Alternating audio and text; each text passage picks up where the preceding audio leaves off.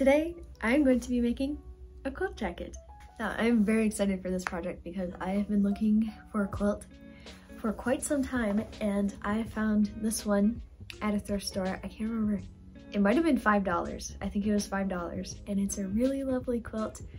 I don't think it's vintage or anything, but still, it's really pretty and I love that it's pink and I love the colors and it's cream and it's just perfect. So I'm going to be making a quilt jacket and then I'm going to see how much fabric I have left over because I really have no idea how much fabric this jacket is going to take up and then I might make like a little matching vest out of it. The rest of it, if there's enough, which I think there should be. So we'll have to see how that plays out. But for right now, I'm going to be using this pattern and this is just kind of an ugly pattern to be honest. Uh, the way they made them, not very pretty, but I'm going to be following this one basically and I'm going to probably have to shorten it a little bit and then so I kind of want it to, not cropped but also not long either and then I'm going to do the collar and the big pockets and the buttons and I am very excited.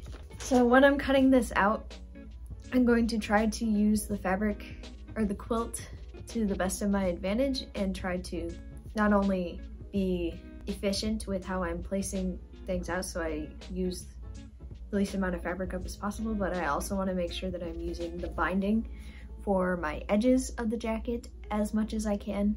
And then I think for the inside, I'm probably just going to serge everything together because that sounds simple and that's what I want this project to be. I want it to be simple and fun and delightful. So here we go.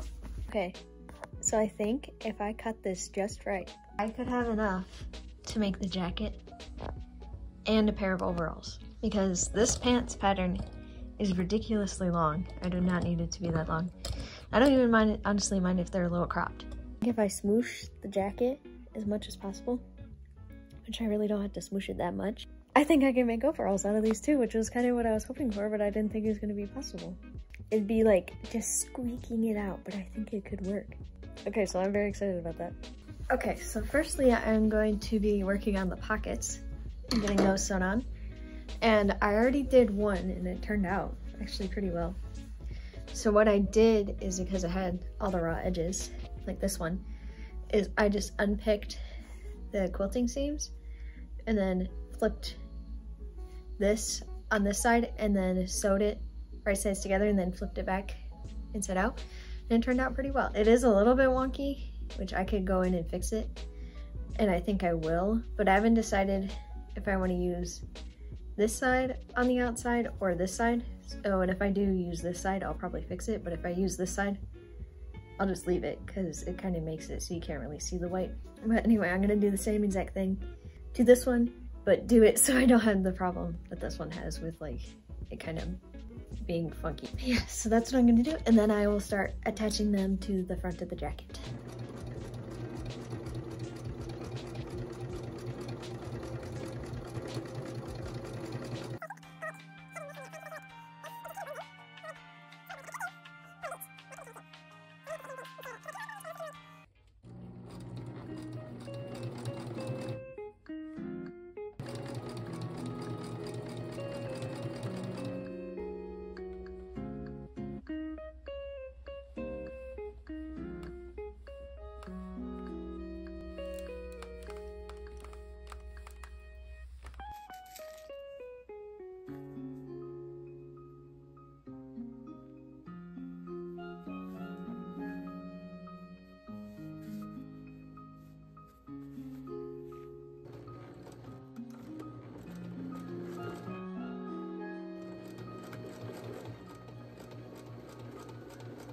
Okay, so as you can see by my change of outfit, it's been a couple days since I've worked on this project because I got busy and didn't have time. But today, I think I can actually finish this, and I know I end up saying that a lot when I'm working on these projects, but I think I can actually finish this one today because all that's really left is just assembling a few things because I have to attach these to the back and then the sleeves and then the collar and that's it and I'm just going to serge all the edges so there's not really any difficult finishing oh the one thing that I didn't think of is buttons because I want this to close with buttons. That's the one thing that could set me back a little bit, but really shouldn't take too long. Hopefully. I always say this, but then it takes way longer than I think it's going to. Besides the buttons, I can get this done today. I'm going to. That's what I'm telling myself. I'm going to get this done today. So then tomorrow I can work on the overalls, which I am so excited about. I'm so glad that there's enough fabric. I was really hoping that there would be enough and to do both because I was kind of hemming and hawing for a while over which one to do, but I'm so glad that there's enough to do both.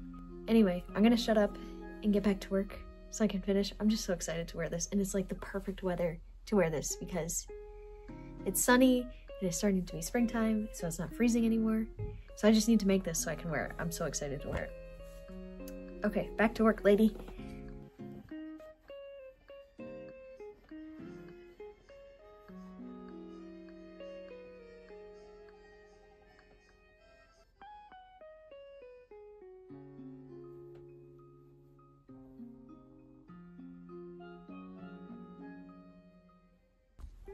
Okay, it's definitely a little large. So I'm just gonna take in the sides quite a bit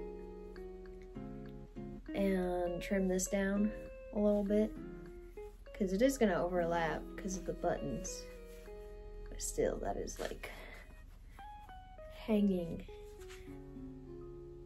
That's just too large. Too large for me, so I'm gonna fix it real quick. Okay, this is much better. Still a little big, but I think it's good because I do want it to be oversized. I'll be able to tell best once I have the sleeves on how I like it. But I think this is much better. This is so cute. I'm so excited. So after I was satisfied with the way that the jacket was fitting, I just cut off the extra fabric inside and then undid the basting stitches so then I could start attaching the sleeves.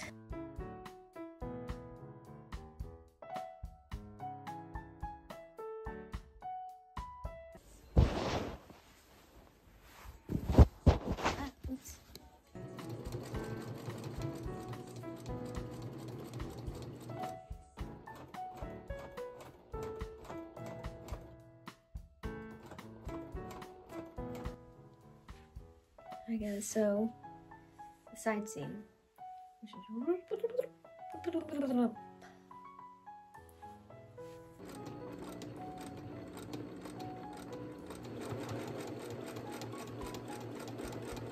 So about halfway through sewing the jacket, I realized that it would be so much easier to get all of this fabric through the serger if it wasn't so thick. So what I ended up doing was cutting out the batting out of each of the seams, and this just made it so much easier to serge. It did add a lot more time, but ended up being worth it because after I did this, I didn't break any more needles, and the process was just a little bit smoother.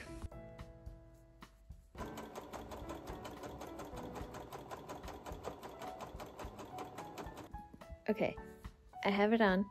I'm not gonna move the camera so you can see the rest of it because that'd be spoilers. But it's so delightful. It's a little bit large still, but I'm just gonna leave it. And uh, it's freezing down here in the basement, and I already feel warmer wearing this, and I've been wearing it for like two minutes, so that is delightful. So next, I'm going to sew on the collar, which will look something like this, I believe. And oh, that's gonna be cute. Cute. Yes.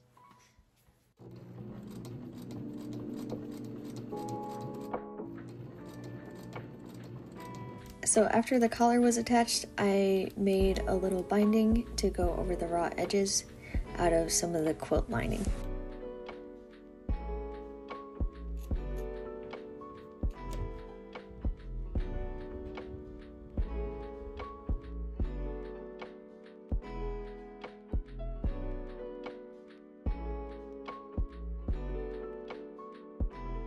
I tried to sew the binding on completely by machine, but I didn't end up liking the way that it was looking. So instead, I just hand sewed the inner edge and it looked really nice and I was really happy with how it turned out. I also hand sewed the buttons with embroidery thread and hand sewed the buttons on as well.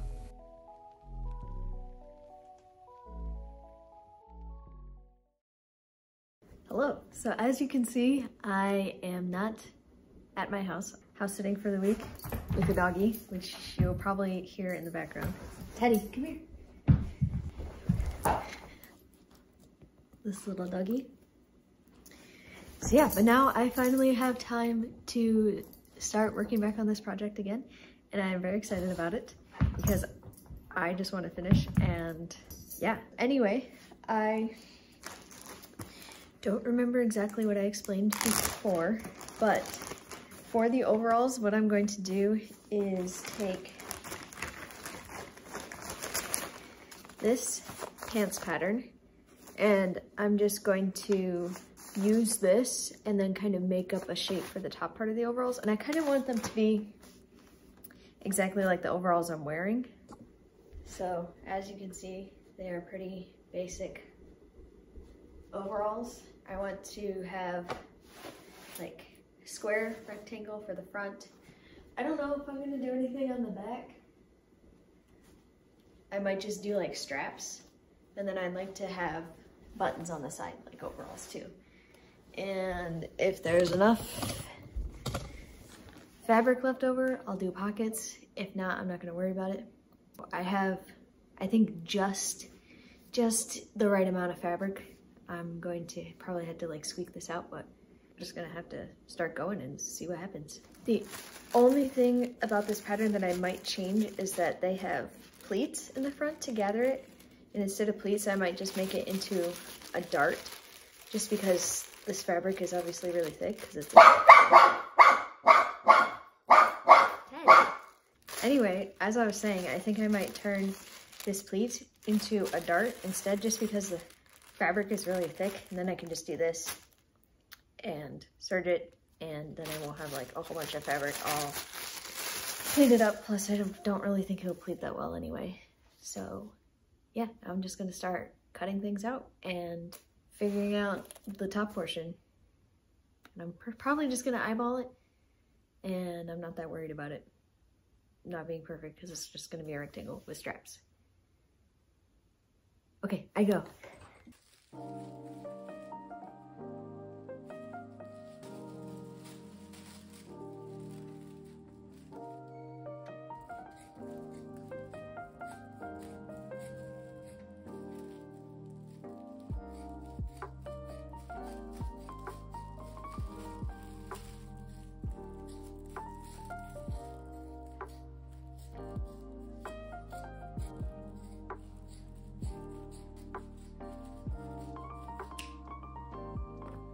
So now I have my pieces cut out and all of the darts pinned out. So I'm just going to start sewing those together and then I will start assembling the pant pieces together.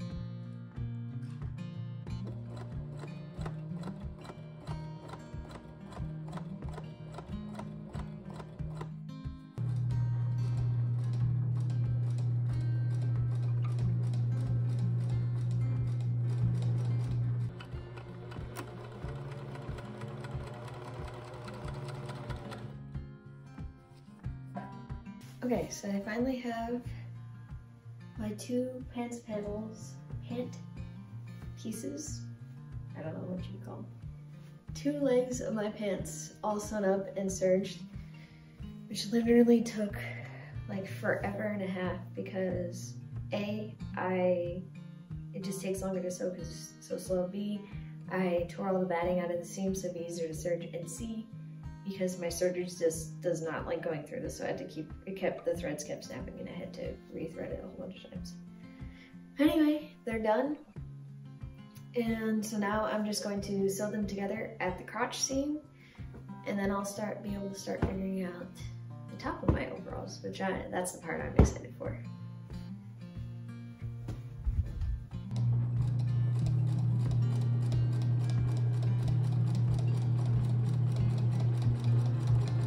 So I have the pants all sewn up and Teddy's about to lose his mind again.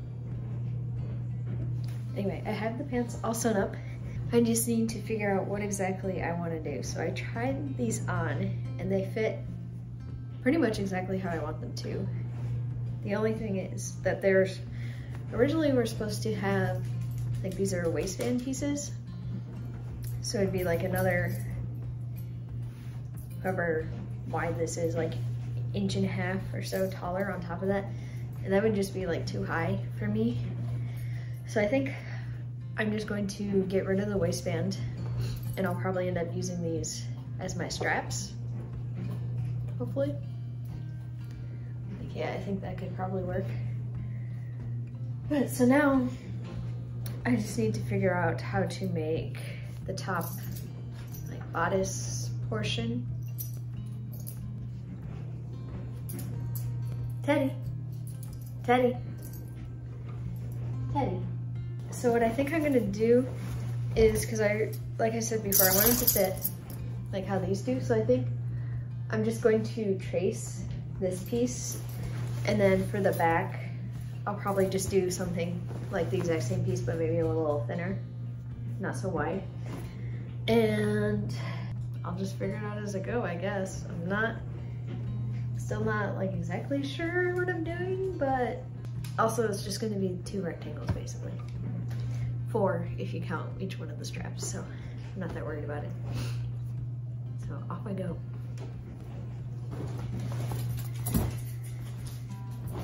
After about literally forever and a half of messing around with these overalls trying to find the right shape, I ended up with a sort of rectangle trapezoidal of shape. I don't know if that's the right word. And instead of actually sewing that all on and sewing it together, I instead decided to just sew on the pockets and call it a day because I just had had enough after doing all of this. So, a couple days later, with fresh eyeballs, I came back to this project and started working on the binding for the little side openings on the pants part of this. And I just did the same thing that I did for the collar portion of the jacket, and I just took a little piece of fabric and folded it over twice, and then it pinned and sewed that onto my little openings.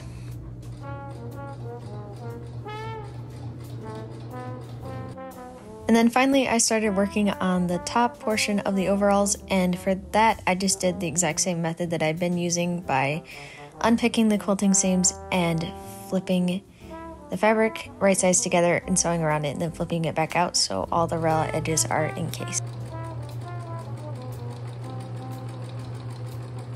Okay, there we go.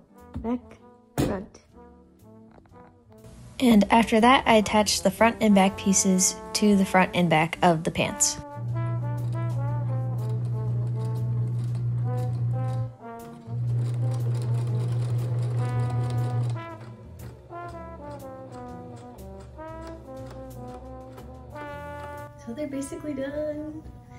So now all I have to, to do is just the straps and then the buttons. And for the straps, what I'm gonna do is just do my, so I think I'm just going to do my same old, like, take one piece of fabric off, resew it on so all the raw edges are enclosed. And then I think I'm just gonna sew it onto the back piece, try them on, figure out where I want it in the front. And I was thinking about maybe doing buttons on the straps too, just so it's easier to get on and off. And yeah, after that, we're basically done. Okay, so my straps are done, but I'm going to fit them and finish up everything else at home because I gotta leave this house. And yeah, so I'm probably gonna just do all the finishing off camera and I will see you in the big review.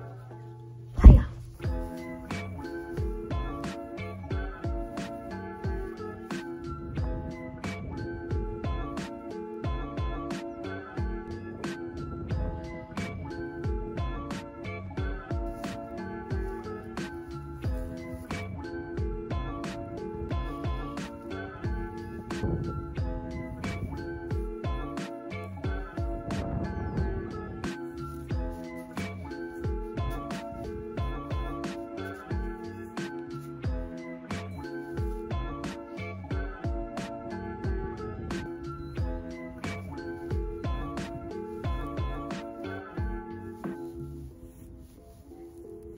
so yes everything's done. And i'm pretty happy with all how it all turned out. I kind of wasn't feeling it about the overalls and now that i've had them on and taken a few pictures and videos i'm like yeah these are really cute. And i do really like them. I like the way that the pattern turned out and i really like how they look with this blouse. I just i was thinking about it and i think i would like them a lot more if they weren't made out of a quilt and I could wear them as more of like a summer thing, but they are really warm and comfy. Like they're super comfy. I love that. It's just, I don't know, there's just something that's not, wasn't terribly exciting for me about them. And I don't really know exactly what. I just think because they're a quilt, I don't want to wear them. And they're kind of like on the edge of something I don't really want to wear in public, even though they are really cute and I like the way that they look. I'm just not sure. It kind of goes the same for the jacket, but I really like the jacket. I think the jacket is my favorite. And I think I will actually wear the jacket out just because it's a jacket. So it's kind of seems okay in my mind that that's more unique rather than overalls. I am really glad that I did this project. It definitely tickled an itch for me for sure. I would like to experiment more with quilted fabric in the future and I think it'd be really cool to make my own quilted fabric rather than just harvesting an already made already quilted fabric from a quilt. So yeah, overall, I enjoyed this project. It kind of didn't turn out exactly how I was hoping, even though the items turned out exactly how I was hoping. It just like the feelings about the items didn't turn out exactly as I was hoping. But overall, it was good. I would say my main complaint was my serger was just a poop for this. And I think if I were to do it again in the future, I should just take the time to bind all of the seams instead of serging them yeah, and then it also, I think I'm less excited about it now just because the project, I worked on it like over a month because things just kept getting in the way. Like my phone camera broke and then I was busy and then I got distracted with other projects. So yeah, overall good feelings, but slightly like eh feelings. But so yes, thank you for watching and I hope you like the way the things turned out and I hope we gave you some pointers perhaps, or at least it was entertaining. So goodbye.